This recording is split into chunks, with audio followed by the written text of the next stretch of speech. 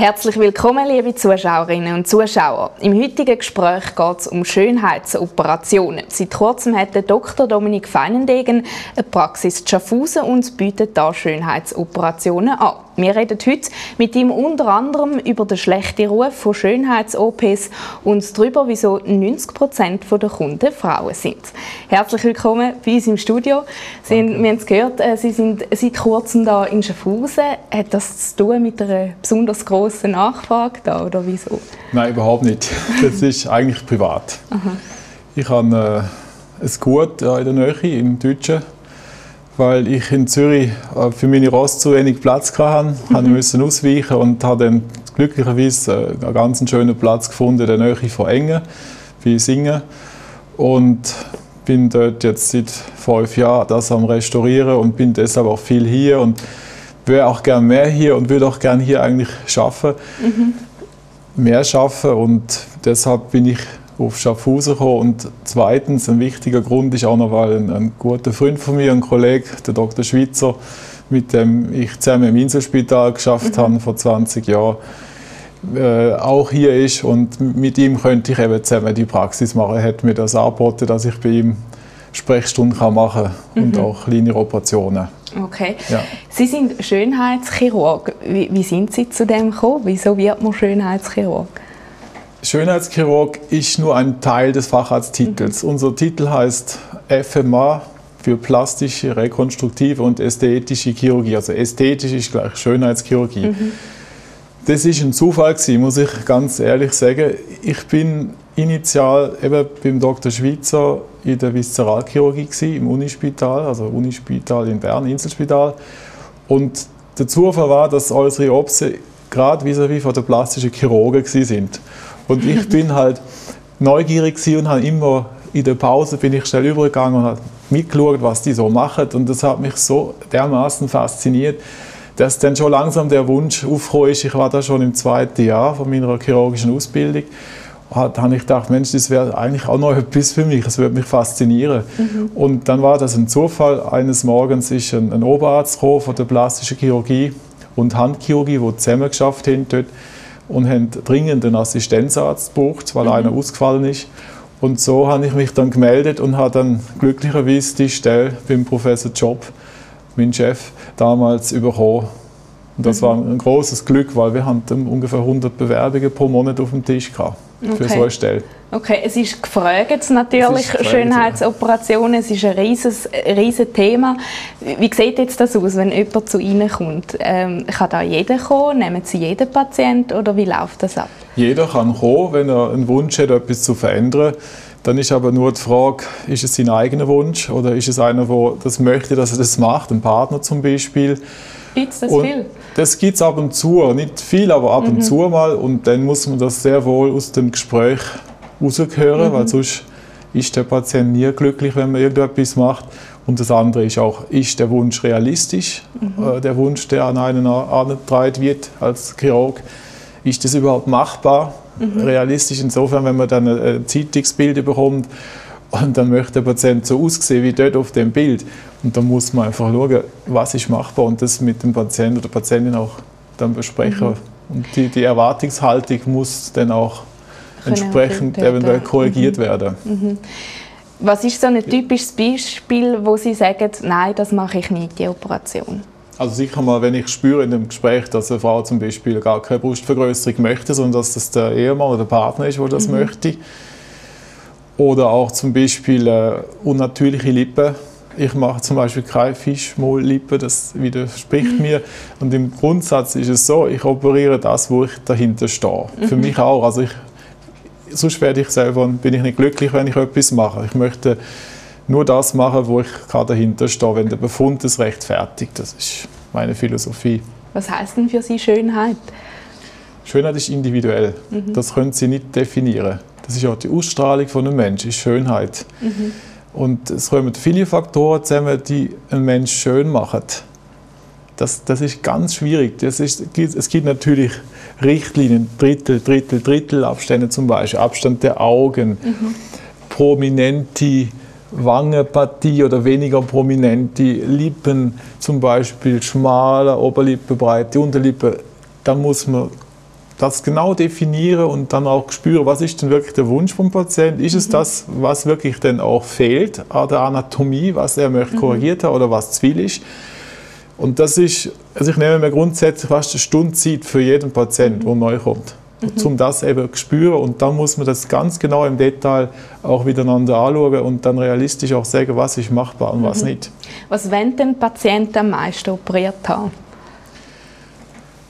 Also ich mache am meisten Gesichtsoperationen okay. im rekonstruktiven und im ästhetischen Bereich mhm. und Brust und Bauch und auch Körper also konfigurieren, Liposuction, so Formungen vom Körper, wo unästhetische Depots sind, wo durch Sport nicht weg können oder Diät. Mhm. Das gibt es ja resistente Fettpolster mhm. zum Beispiel. Das ist eine häufige Sache.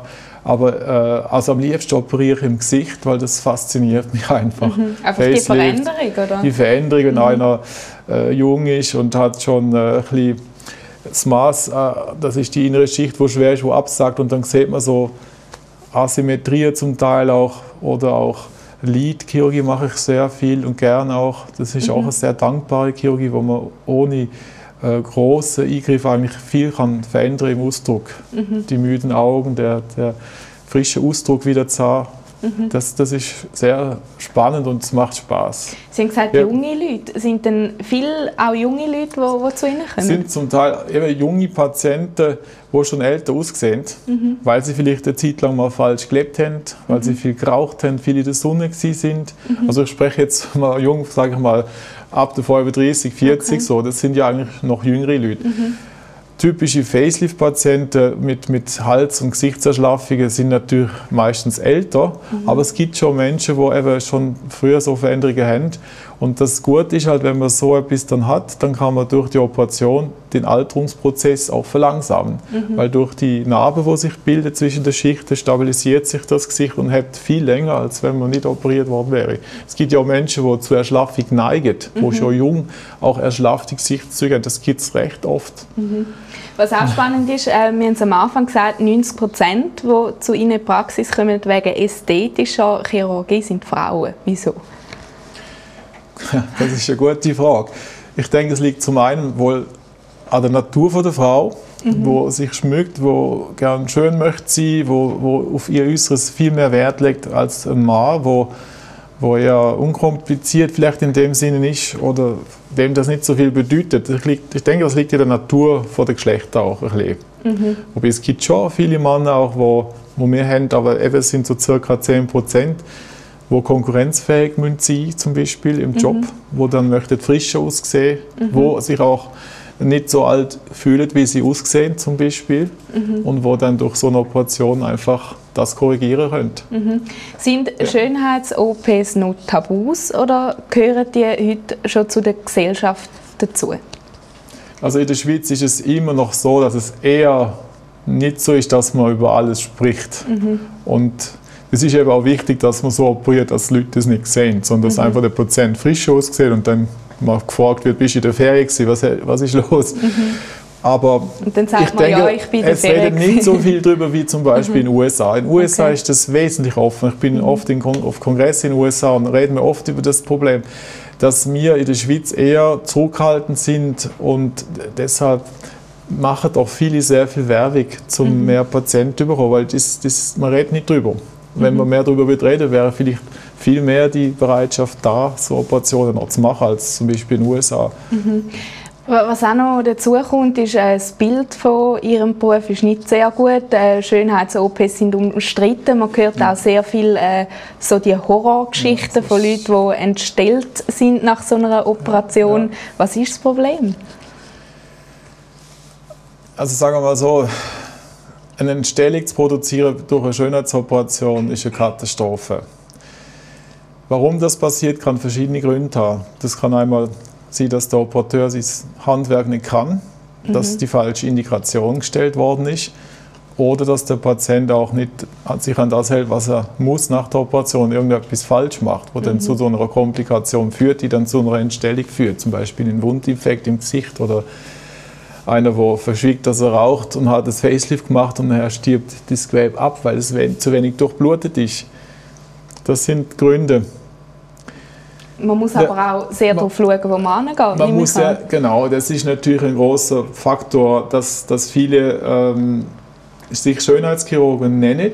Das ist ja auch okay, solange sie ihr Fach verstehen oder mhm. das Fachgebiet verstehen. Aber im Prinzip ist der Titel Schönheitschirurgie nicht geschützt. Okay. Also nur der einzige Facharzttitel, wo den Titel Schönheitschirurg im, im Facharzttitel drin hat, sind wir. Facharzt für plastische, rekonstruktive und ästhetische Chirurgie. Das heißt aber nicht, dass, dass einer, der jahrelang ästhetische Chirurgie gemacht hat, zum Beispiel ein Haarenohrarzt oder ein Kieferchirurg, wo auch sehr viel Gesichtschirurgie macht, dass der kein Facelift kann machen. Das stimmt überhaupt nicht. Mhm. Aber es gibt halt doch immer wieder schwarze Schafe, wo gerade genau in dem außerfachlichen Bereich versucht, Geld zu verdienen und dann Sachen im Wochenendkürzli macht oder versucht, irgendetwas zu lernen und das aber gar nicht kann und dann, mhm. dann das halt macht und dann sind es halt Probleme, die entstehen, sehr oft, ja. Haben Sie das auch schon mitbekommen, ja, persönlich? Wöchentlich. Wöchentlich? Ja, ich habe jede Woche Patienten, die von eben nicht so toll operiert worden sind, wo man dann korrigieren muss. Mhm. Wie kann man sich schützen dann? Also wir haben von unserer Fachgesellschaft Broschüren herausgegeben für Patienten, wo sie sehen, wer ist überhaupt Facharzt in ihrer Stadt, wenn sie einen suchen. Und dann ist es natürlich auch wichtig, dass man den Arzt mal kennenlernt und vielleicht auch Referenzen einholt. Und wenn es kein Facharzt ist, eben genauso Referenzen einholt und auch fragt, wie oft er so etwas schon gemacht hat, so einen Eingriff. Und man muss ein gutes Gefühl haben. Das mhm. muss zwischen Arzt und Patient muss äh, ein Niveau da sein, wo harmoniert und wo das Vertrauen noch da ist. Und wenn man das nicht hat, sollte man es nicht machen, auch als Arzt nicht. Also wenn ich jetzt eine Patientin habe oder einen Patient, wo ich das Gespür habe, der ist nicht so differenziert, der macht das nicht, was ich nicht sage, was wichtig ist, aber und macht sich einen Tag später einen Verband weg und hat dann einen Infekt zum Beispiel mhm. oder manipuliert an der Wunde, in der Wunde, wo viel zu frisch ist und dann ein Infekt entsteht, das ist passiert immer wieder mal, dann ist das natürlich schlecht. Mhm. Und wenn man das spürt als Operateur, es könnte so ein Patient sein und es ist einer, der nicht aus dem Krankheitswert operiert wird, sondern aus dem irgendwas, Schönheitswert, dann muss man einfach vorsichtig sein und sagen, äh, für mich stimmt es einfach nicht. Oder mhm. dann mache ich die Operation auch nicht. Mhm. Eben ungefährlich ist es so oder so nicht, äh, Operationen, das muss man sicher auch noch sagen. Wir sind schon am Ende von unserer Sendung. Ich danke Ihnen vielmals für, für das spannende Gespräch und wünsche weiterhin alles Gute. Danke. Und Ihnen, liebe Zuschauerinnen und Zuschauer, wünsche ich noch ganz einen schönen Abend. Auf Wiedersehen miteinander.